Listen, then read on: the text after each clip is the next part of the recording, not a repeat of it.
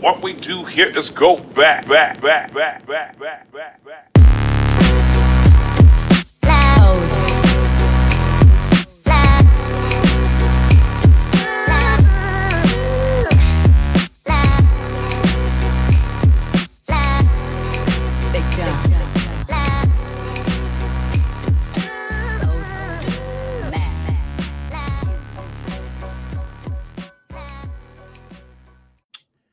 The Mind Your Business podcast. Champ'Ron coming to you on January the 3rd, the first episode of 2020. So glad to have you all here on what's been a pretty dreary and rainy Friday, uh, January the 3rd. Welcome to 2020. I'm your host, Champ'Ron. This is the Mind Your Business podcast. Give everybody a chance to uh, jump on What's going on? Chris Eagleston, Lisa Ramos, what's going on? Good afternoon to y'all, man. Welcome to the new year. Hope that the holidays were enjoyable to you. Hope they were safe. Hope they were kind. Hope that you were all those things to your friends and family and to your community uh, as you enjoy the end of December. And I hope that all those goals that you wrote down and all the whiteboard sessions and everything that you did is bringing you to this very point where you're ready to get busy if you hadn't already. So what's going on? D Young, how you doing? Visa, what's going on, man? Good conversation there uh, with family. Uh, Nidra, uh, on that other post, brother. Uh, Justin Spencer, what's up, brother? Doing big things, man. Had a big 2019, poised for a big 2020. Monique Russell, same for you. Shay, what's going on? Glad that y'all could jump in and uh, join today. Um, we're in what is now year three of the Mind Your Business podcast. In August, we're going to hit three years. I'm not sure what episode we're going to be at, but thank you all for all your support. Thank you for those that have gone out on Apple Podcast and given us a five star positive comment rating. I appreciate y'all. Thank y'all so much uh, for doing that. Roland, what's up, brother? How you doing? Jessica, what's going on? Jessica Wright. I'm gonna call you this year, Jessica Wright. I, I made that one of my resolutions. I don't usually make resolutions, but all damn year last year, I told Jessica I was gonna call. I ain't done it yet. So that was one of my failures, one of my epic fails from 2019, is I never did call Jessica Wright about this business. But uh, we're definitely uh, going to connect on this year. So I've got it written down, Jessica. That was one of my goals, and uh, I am going to give you a call at some point before December 31st, 2020. GG, what's up, girl? Let me um, jump right in since Gigi jumped in, I want to jump right in and share with you all, uh, MYB community. Marketing is extremely important to the level up of your business and to your personal brand.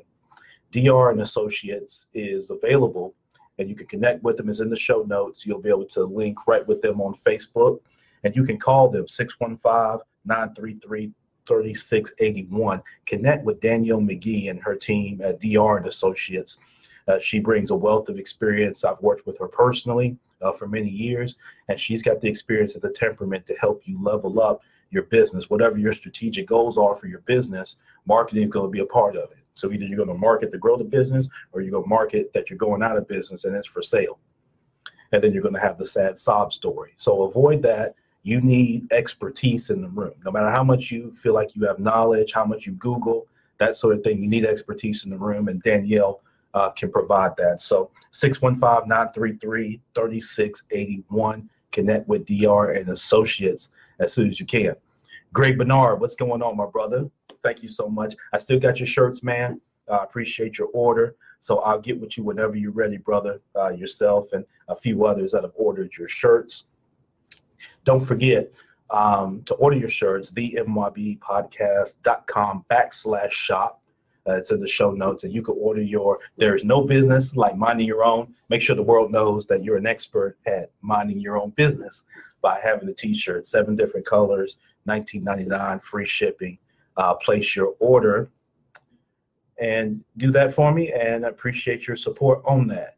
Dominic Lawson, of course, the Startup Life podcast getting underway. They're going to be on KWAM, so you'll find them here. For those that are in Memphis, if you're not in Memphis, you can connect uh, which is 990 AM. There's an FM station as well. Uh, you can find them online. They're going to be on Um, and Dominic, uh, we'll, we'll, have him on where he can share the schedule. But for those that are already supporting the Startup Life, which is the flagship podcast of the Binge Podcast Network, the Binge. And so uh, definitely make sure that you check out Dominic Lawson on the Startup Life podcast. Get that wherever you get your pods, as well as all the great shows that are on the Binge Podcast Network. Nothing but buckets. Let's be real. Just blurting. Uh, all of them have new episodes that are out with great content that you need to make sure you check out wherever you get your pods, fam. So make sure that you all do that MYB community. So shout out to Dominic, uh, his great wife Kendra. They're a great team. What they're doing with Owls LLC and the Startup Life podcast. Patrick, what's up? Wendell and Payne, thank you so much for your kind words during the holidays and hope that 2020 is off to a great start for you. Steve, what up? Thank you so much, man, for you all jumping on. As I mentioned earlier with the Binge Podcast Network, they power this particular podcast and have now uh, going into the second year. You can expect more content and things like that at onabinge.com. All right, today is episode 123, and I want to jump right into today's topic. Um, before I do, real quick, um, Olivia Magro, thank you so much again for sponsoring the last episode, the special episode with Tracy Moss. That got really good feedback, uh, great downloads, and that's done very well. And shout out to Tracy for doing that down in Atlanta, uh, celebrity TV and film hairstylist and definitely excited about what she's got coming up for 2020. I appreciate her taking time on a Saturday to do that interview this past Saturday. So thank you all, ladies, for for doing that. Episode 123 is about building your consulting practice. I'm going to go through, so today I'm going to share my transition into CRA. Uh, for those that may not be aware, you know my background in banking, but you may be wondering with what I'm doing today, how I got into that.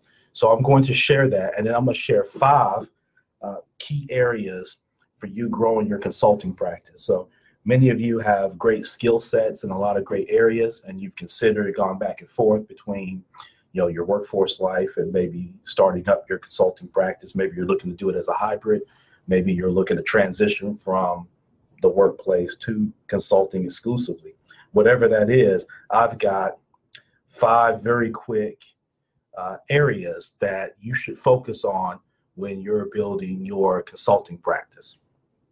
All right. So, getting right into it with number one. All right. Well, before I get into number one, let me share my story real quick because I told y'all I was. So, I was the VP of retail at a credit union here in Memphis. And January 4th at 3:45 p.m., I was told thanks but no thanks.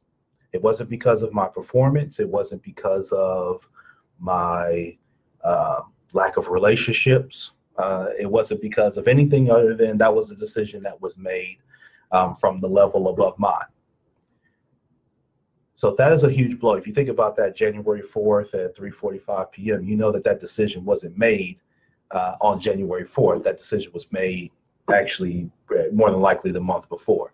Uh, decisions to move on from people aren't made four days into a year after you've already completed budget and that sort of thing. So that's a huge blow that I got, but it, it led me to what I'm doing today, which is helping banks find investment opportunities in low to moderate income communities, uh, particularly in Midwest territory. In doing that, and as you develop your your practice and you develop your um, whether it's your self-employment or your business, um, I found that in, in, doing so, it's very difficult. Um, for someone that had been in banking for 17 years, and I've got contacts all over this country, because uh, you got to remember, I worked for some of the super regional players. I, I traveled some. I, I went on merger acquisitions where I would go and train retail people and small business people on new systems and how to leverage the system within the sales process and take the language from the system and be able to articulate that to a prospect or a customer is something that I did and, and specialized and did very well. In doing that, I gained a lot of great skill set and a lot of great contacts. But when I was on my own and now starting my own thing, I found that because I don't have the bank's brand with me. Uh, people took my calls when I was VP of retail. okay. When I was VP of retail, I had 96 employees, 10 branches, a 20 seat call center. People took my calls. All right. When I started out on my own, it wasn't that people didn't take my calls, but because I didn't have the title anymore, there was a different treatment. right? As you could imagine, there was a different, you know, my calls now start going to voicemail. You know, my texts don't get responded to because I hadn't, in some people's mind, I had nothing to offer because I didn't have this title. The fortunate thing was I never built myself off my title, okay, even in the workplace.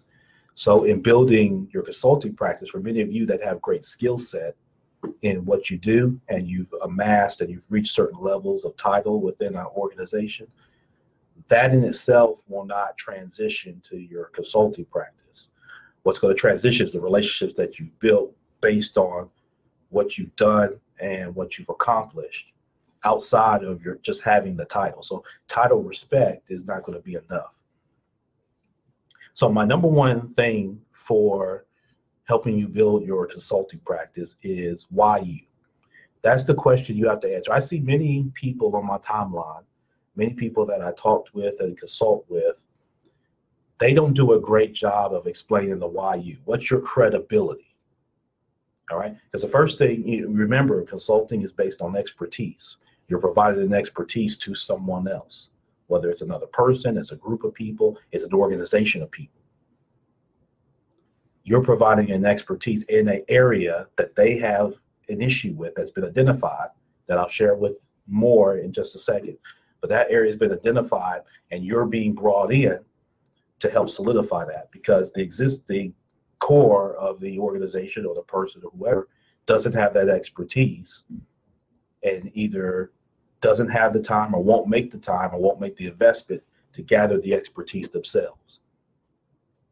Because they're not willing to do that, they outsource that like anything else. All right. So that's where your your core, your value is. But you have to begin with your why you. That's something and you've got to define that for yourself constantly as you evolve is why you. What's your value proposition? So it's not just your passion. A lot of people have uh, energy, they have passion, but they don't have credibility. And like I told you on a previous episode, this is going to be the year of accountability. This is going to be the year of receipts. People are going to want to know uh, that what you have is really what you have, and what it is is what it is. So make sure that you answer is number one, MYB, answer why you? What's your credibility? So what have you done? So if you ask me that, it's not just I've been doing something for X number of years. I've always given the analogy that you can, if me and you are driving and we're going to leave Memphis, Tennessee, and we're going to go to California, me having drove for a car for 50 years don't mean nothing if we go in the wrong direction. If we leave Memphis and we go east on I 40, and we're supposed to be going to California, and we start going east, and you fall asleep and you wake up and, and you see a sign that says "Welcome to Virginia," you're gonna have some questions for me because we're heading in the wrong direction. How long I, I've been driving the car and how long ago it was since I got my license won't matter, right? So it's the same thing. What's your credibility? What have you done? So for me, I've I mentioned earlier about working in merger acquisitions. I have opened what's referred to as de novo branches, which are brand new branches for an organization. Everything that goes into opening a new branch. Um, I have between Memphis, DC, and Seattle, I have worked on retail teams, worked on retail projects, whether it's to add automation and using technology not to replace people, but to enhance um, people interactions and to take away mundane tasks so people can focus on the primary task. That's what technology is used for, from my opinion. So I've done that in my banking career. I leveled up, I went through the management training program. I was a small business banker, so I provided resources, deposits, cash management, things like that for uh, many small businesses that I'm still in touch with. Some that are still in business, some that are, are not, some that have transitioned to different areas. So I've done this in a documented fashion with several different institutions. So that's my credibility. So when I walk in the door, and I've identified a problem within an organization, that's what it comes from. That's why they call me. That's why they keep the meeting with me. It's because these are the things that I've done, and these are things that I'm continuing to learn. And I'll get to that one of the other um, keys. But your number one key is make sure you define who, you know, why you, what's your credibility, and make sure you can articulate that in a concise but detailed enough that a person can understand and, and respect that. And if you don't do that, if you're just off a of passion and you just love to hear yourself speak, that's how it's going to come off. As someone that just loves to hear themselves talk, someone that just loves to go live on social media and blah, blah, blah. That's not going to get it popping. All right. What's going to get it popping is your credibility. So make sure if you're consulting on, you know, we talked about Danielle earlier on marketing. You know, she's one of the few who has gone through the Google program and been certified with Google in this area. You know, that's a credibility factor. If you're consulting on leadership, what have you led? Who have you led? And what were the results of you leading? If you can't articulate that or you leave that up to assumption, it's going to be hard to gain traction. You know, if you, you know, so whatever it is that you are looking to tackle from a consulting standpoint, financial, uh, marketing, uh, warehousing, distribution, whatever it is, where's your credibility piece in that? Make sure that you know that. Um, two, the second key area that I bring to your attention in is what is the problem? So one of the things that happens when you know with what I do is you have to identify a problem. When, when a bank has a CRA issue, typically what happens is they struggle with finding opportunities in low to moderate income areas. They're not short of opportunities in the gated communities with, you know, everybody that's got first world problems, right? They're more concerned about, um, you know, different things that aren't everyday struggles. Nothing against that, but um, banks solicit deposits and resources from a community holistically, not just from certain areas, not just from the, the blue blood area or not just from the gated community, the whole community. So they have a responsibility then to invest uh, in the entire community. And so I help them do that. And Senior Crime Stoppers is um, a component that allows them to be able to do that while protecting low to moderate income seniors who have banked with them in many cases have banked with them for many years. Many of these banks are built off the incomes and the revenues that are generated from seniors. These are the people that opened the accounts 20, 30, 40, 50 years ago that are still there, right?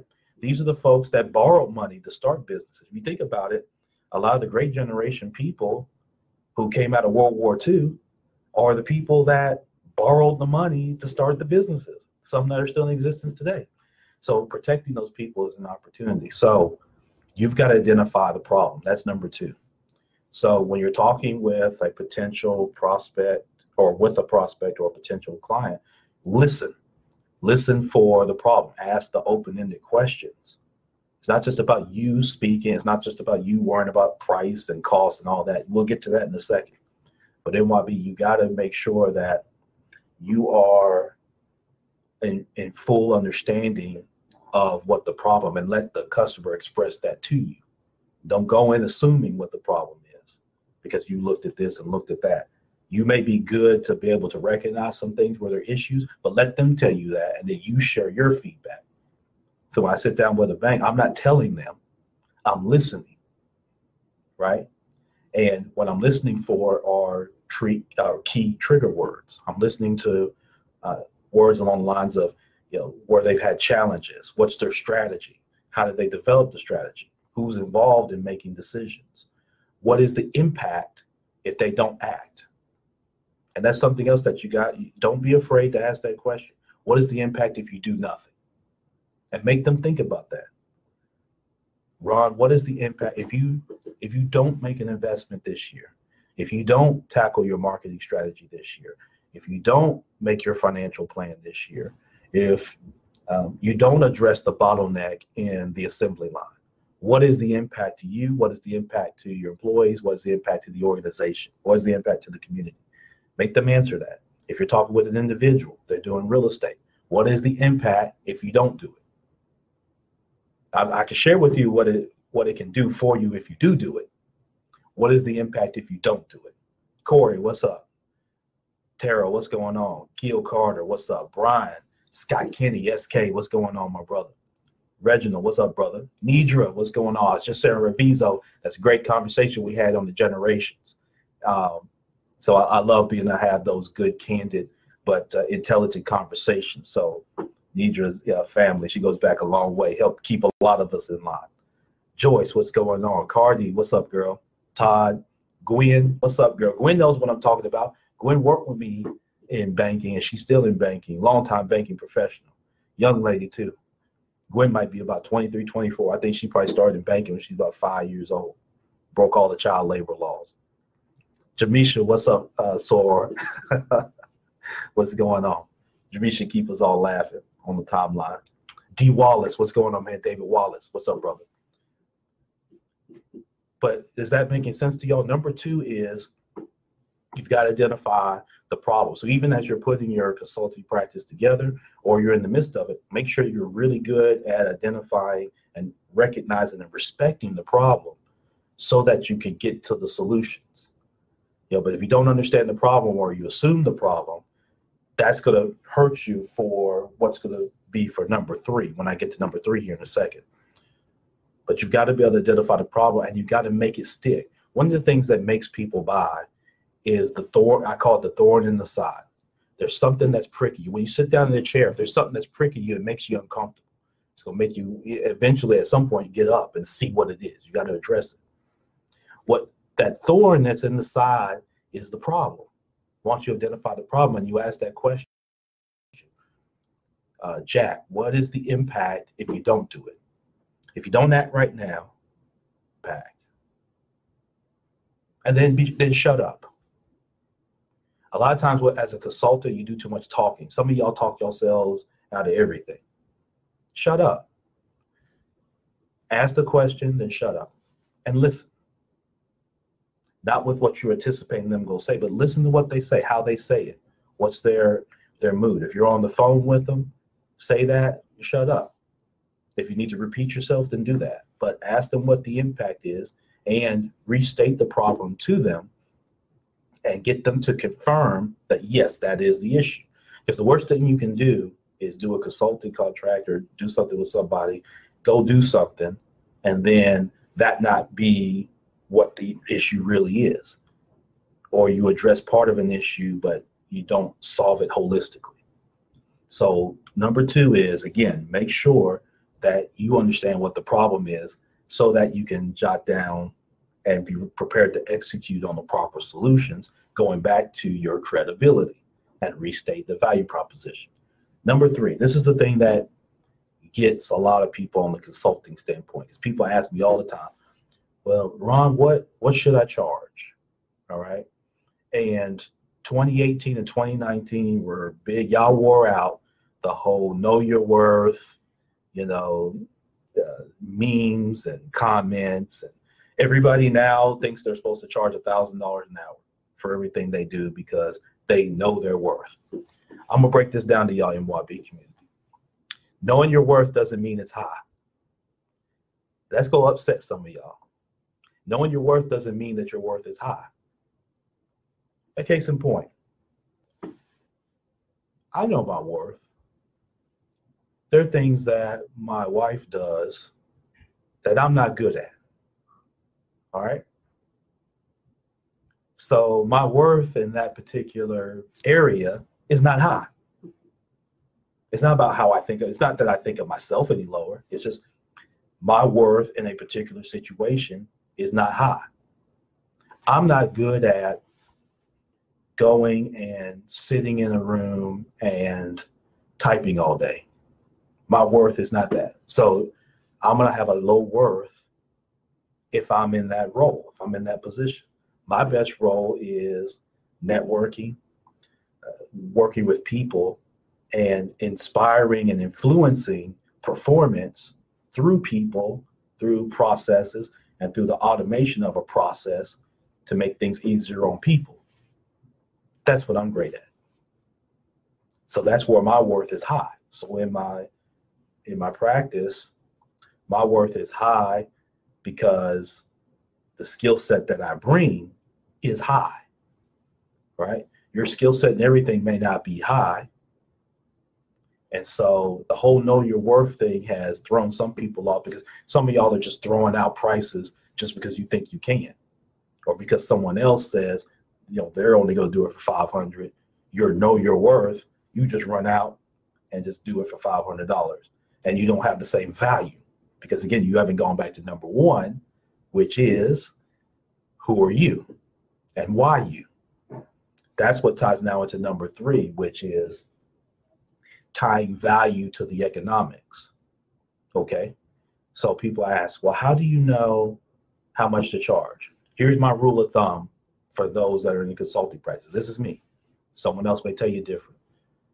Um, if you were working a job and you were making, let's just say uh, you were making $30 an hour, okay? As an example. So you were a salaried employee, but if you break that salary down, you were at $30 an hour. I typically charge as a consultant, because keep in mind, you don't have the benefits, you don't have the corporate backing, you don't have any of those resources that you had uh, when you worked for a conglomerate, when you worked for a job, okay, when you're in the workforce. So now that there, someone else is paying for the expertise that you put years into to doing in many cases, right? So if you made thirty dollars an hour, I typically um, triple my rate when I was working. So if you're working thirty dollars an hour, you times that times three, all right, now you're in that ninety to hundred dollars an hour range. All right, so it just depends on where you work. So thirty dollars an hour, I'm not sure what that computes to to a salary. That may be, I don't know. Let's just say that's fifty thousand dollars a year. All right. So if you triple that, you want to try to get to somewhere around 180,000 in revenue. To do that, then you've got to triple your rate.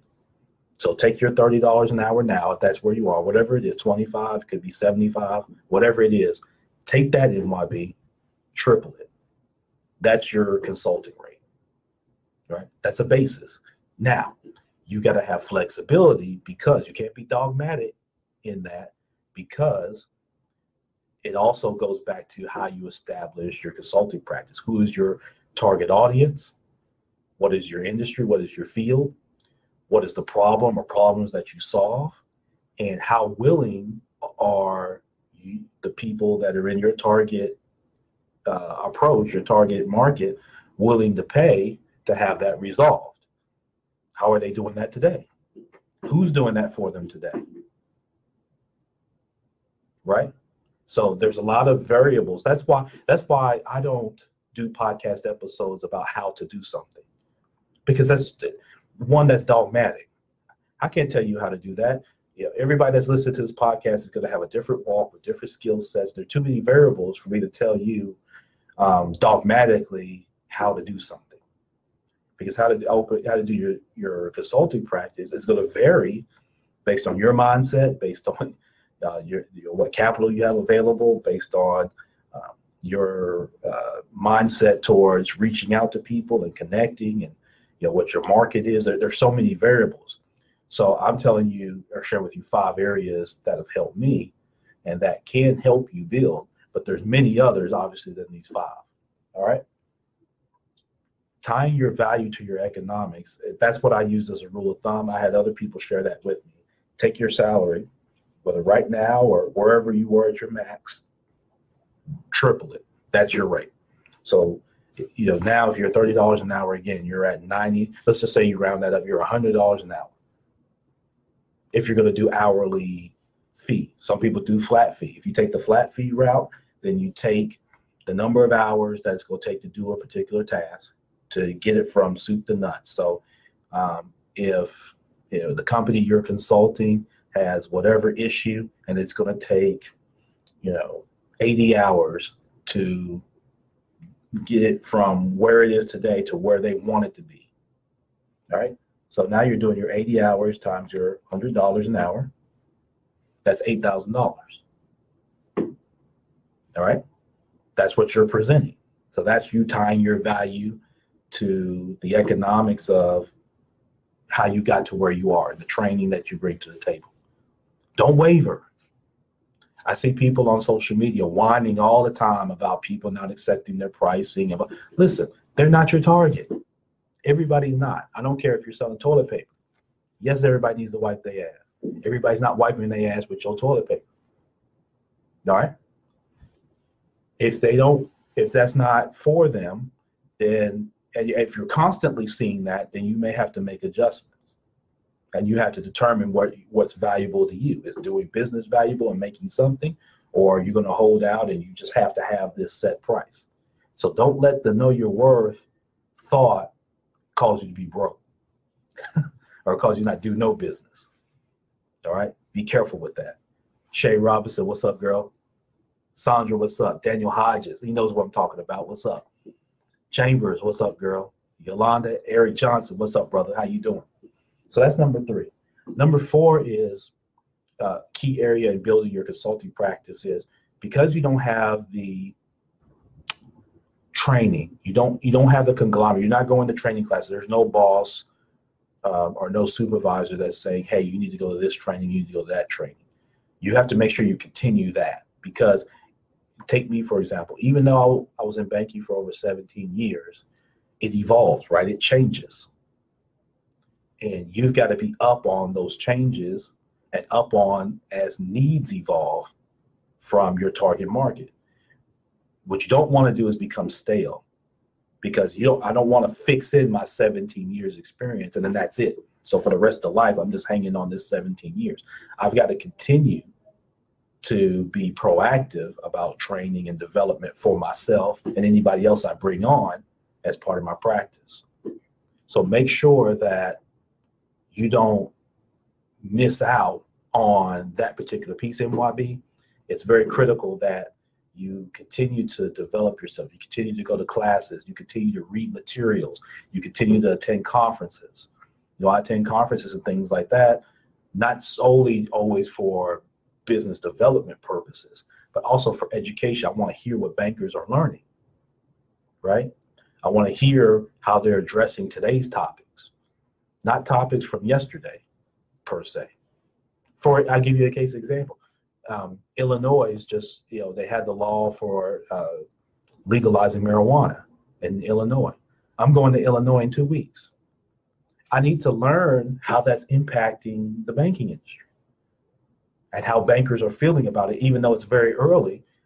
What are they feeling? What are they? Are people coming in wanting to open accounts? Do they have cash in the business? Are existing business owners that they're already banking entering the industry? What's the impact of that? How is that impacting their strategy, particularly their CRA?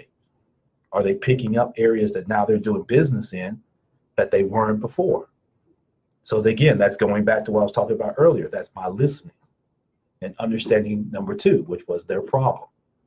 Okay. But number four is continue the training. YouTube, if you go back and get certifications, whatever that is, continue to do training. Ask your, your customers that you do do business with for feedback. That's going to help you learn too. Go back and ask them, why did they do business with you? Make them overtly state that so you can understand what went into their mindset. They say yes. So you know what to look for with the next prospect to hopefully guide them to a yes. We often want to know the negative. We want to know why people don't do stuff. But we also need to know why people do it. Even if someone does it, don't assume that they just loved it. Why did they do it? Don't assume that. Let them overtly tell you that and express that to you. But ongoing training is going to be critical. So whatever it is, I don't care how great of it at it you are or you were, you have to continue to learn. And you get that infrastructure often when you're working for a reasonable sized company. You won't necessarily have that if you're not. So don't forget that. Number five is is might have been one of the most critical ones that I jotted down, which is when you're starting your consulting practice, you're often a lot of times you go be on the island. Um, again, you're not going to have not just the corporate support, but there may not be others within your uh, immediate network that um, understand or are part of what you're doing. So your mindset's going to be critical. You always have to challenge your mindset. You have to make sure that you're spending time on yourself and on your practice, understanding again what's that value, what's the mindset, what's the grind work you're willing to do. So when you're building your consulting practice, it's sales. You got to make a lot of calls. I told you earlier, when I was VP of retail, folks accepted my call when I called. I didn't have to leave too many messages, right? When I'm outside of that and I don't have that title, it's different. And I learned that really quick. So I had to be diligent, steadfast, and tenaciously focused that everyone that I called was not a target all the time. And even if they were a target, the timing wasn't there. They weren't ready to commit to solving the problem. They weren't ready to commit to me solving the problem, whatever that is. Keep going. Typically, I've got to make, you know, I've got to connect with about seven to eight banks or people to get a yes. That's typically, you know, sometimes it runs longer, sometimes it's shorter but that's typically the the progression. That's the rate. So, and when I say yes, that's yes to a meeting. That's not yes to even um, a transaction taking place. That's just yes to get a, a meeting, a face to face meeting, or a conference call. So I've got to be constantly, you know, reaching out to them. You know, who within the bank do I need to talk to? You have to know that within, you know, the if you're dealing with companies or your business to business or whatever, um, even within the family. Who am I talking to? Who's my target? And then how am I getting my information in front of them? You know, I do mailers. Shout out to Erica Dallas. She helped me last year do my prospect letter. Um, so, how are you connecting with those people? What do you get in front of them?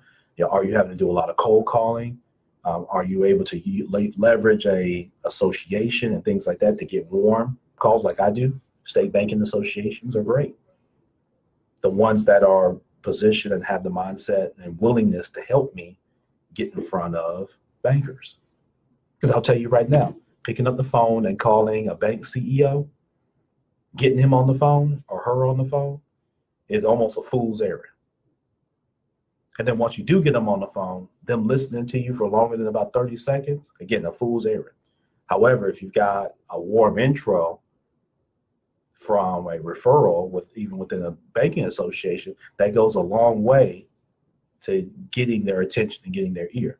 So the same may be for your industry as well, but don't miss on the art of making contacts and then following up. That's going to be critical in your consulting practice and not getting down about people not returning your calls, people not returning your emails, people dragging their feet. That's going to happen. And, and if you're if you're targeting the right people, that can get reduced. What happens is when you're just a free for all, and this this kills consulting practice. When you want to be everything to everybody, and you want to try to help your friends that are starting businesses, you want to you can't be everything. You won't be everything to everybody MYB. You're not. Even in marketing, yes, every business should market, should market, but that doesn't mean your service is targeted and you know, specific to everybody at every business in every industry. Possibly, but you have to you you have limited time and resource. So you can't be everything to everybody. You've got to decide that here's who want this is the type of business, this is the type of industry, this is the type of business owner, this is the stage of business that they're in. And these are the folks that I'm going after that I'm targeting. Not everybody on my timeline, not everybody on IG, not every, you know, not everybody that walks up to me in the grocery store. But these are the people that I want to do business with. And then this is the mindset I've got to identify those people. And then do I understand the psychology of those persons? How do they think?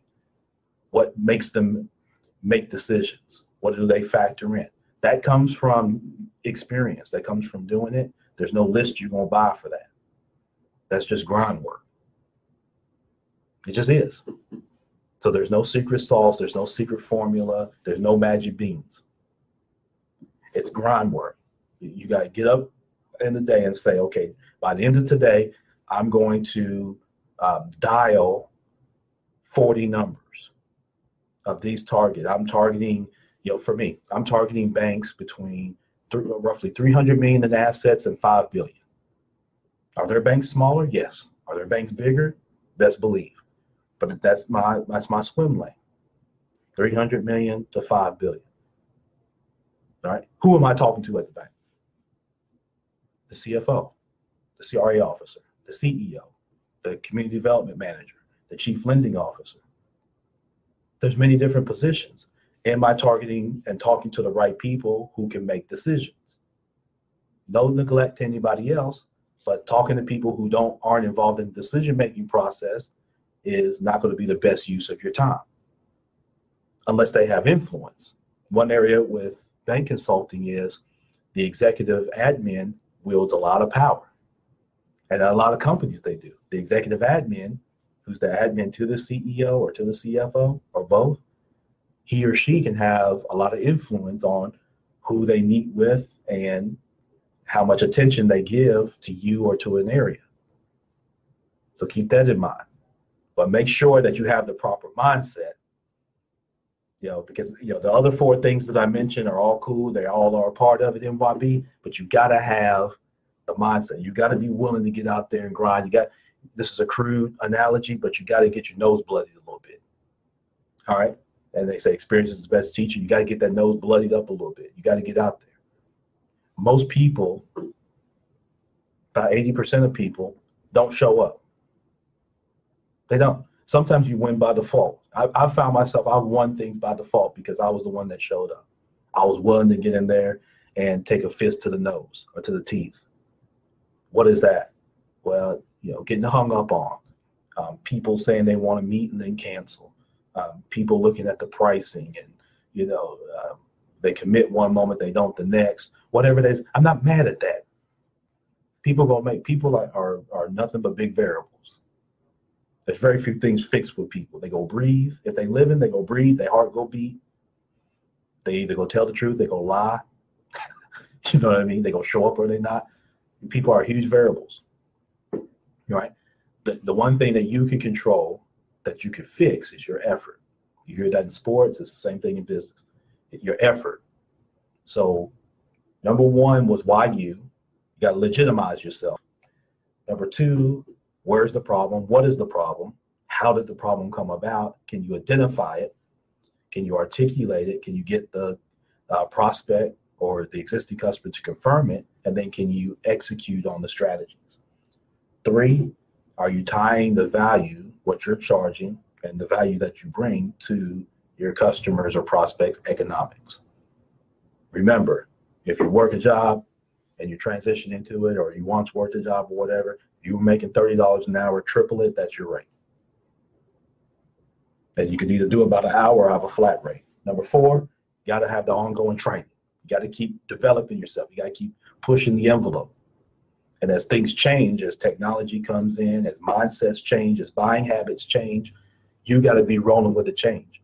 Because what happens is you don't want to be the young person that becomes the stale old person. The people that you know you you talking about now, you become. Don't do that. you know what I mean? Don't do that. Don't become that person. Because you will. You stay around long enough, young people this is the one fallacy that young people have right now is they think they're always going to be young you know folk that's 25 think they'll always be 25 and that's not the case 25 will be one day if you stay around long enough you'll be 35 you keep waking up uh, in the morning and going to bed at night one day you're going to be 45 then you go do keep doing that some more you're to be 55 you do it some more you be 65 right in that time, you got to still continue to develop your skill set. You got to continue to sharpen your sword, your sword, and make sure that your your shield is right. And then last, like you say, again, the mindset. If you don't have the mindset, the other four become moot points. All right. So I hope this is helping you all uh, that are listening here, MYB, as you're building your consulting practice. This can be applied across many a myriad of different uh, areas of your life, personal and professional. But these are five things that I key in on uh, as I'm building mine. All right. So listen, Uh, for those here that are on Facebook, I, I appreciate y'all jumping in. Uh, let me shout out a few more folks. Um, Berlon, what's going on, brother? We need to get together uh, for sure. Kay, congratulations again uh, to you and the Mister. Appreciate y'all uh, sharing that with us. And uh, for those that were hating, y'all know what y'all can go do. Um, Whitney Jones, what's up, girl? How you doing? Kristen, how you doing? Angel, what's up? Nia, what's going on, girl? Happy New Year to you all. Curtis, what's going on? So I hope this has been helpful for y'all MYB here on episode number 123. Uh, share this with someone that is, you know, starting their consulting practice or they have goals for 2020. Uh, maybe these five key areas can help them. I, like I'm hoping that they helped you all. Uh, we're gonna come right back next week. I'm gonna be episode 124. This year I'm gonna have guests going. But we're gonna continue to build this thing. I've got opportunities in other markets here with the Mind Your Business podcast that will come to fruition this year. I'm very excited about that and continue to build this. Y'all see where I am here on. Uh, for those that are looking on Facebook, I'm just here in the office. You see behind me, I keep my basketball goal wherever I go. Um, you see that I've got the whiteboard. These are the things that I'm doing. Information that I'm converting to my ability to articulate that to help solve problems. That's all it is. No magic beans. There's no magic sauce. You know what I mean?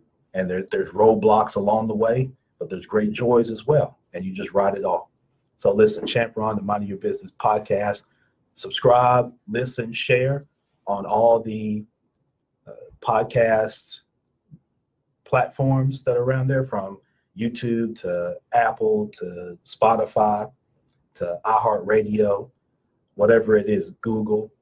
Definitely give a five star rating and leave a positive review. That helps the show be able to grow. Don't forget about the t shirts. Don't forget about DR and Associates that I mentioned earlier. Don't forget about uh, the Startup Life podcast and the Binge Podcast Network.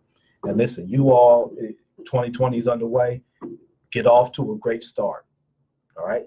Remember the year of accountability. Get off to a great start. Don't accept nothing less. Don't accept nothing less and challenge your mindset, but don't accept nothing less than getting off to a great start. And if I could be a resource, ron at the mybpodcast.com is my email address. Hit me up. i love to hear from you. If you got ideas for the podcast or you want to be a guest, um, hit me up there on that email address. I'd just love to hear from you. So listen, y'all enjoy the weekend. It's gonna be a great one. Hopefully it'll stop raining here in Memphis. Hopefully the weather's nice wherever you are listening to this. Check out the links in the show notes, and I'll catch you on the next time. Champ'Ron. What we do here is go back, back, back, back, back, back, back, back.